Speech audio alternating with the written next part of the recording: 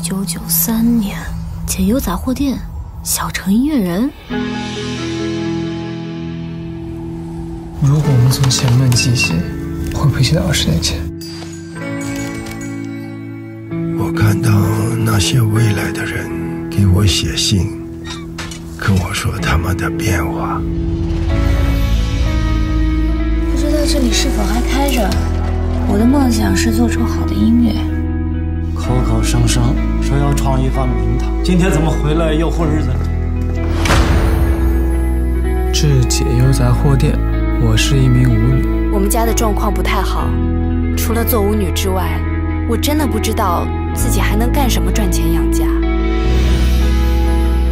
你们说我们能给他什么指点？心中有梦想，在哪儿都是舞台。你说的比唱的好听。你知不知道？你再走，辈子都见不到爸爸。孤独并不是因为孤身一人，是因为无法找到心灵上面真正的沟通。结婚有那么重要吗？他做自己喜欢做的事情不就行了吗？如果他有一天混得比我们还惨，你负责啊？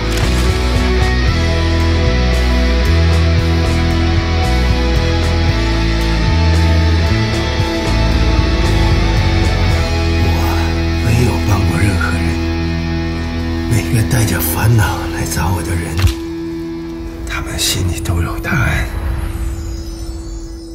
搞什么狗屁音乐？真喜欢音乐，自己搞个直播，弄个亦庄，你就成网红。网红直播什么玩意儿？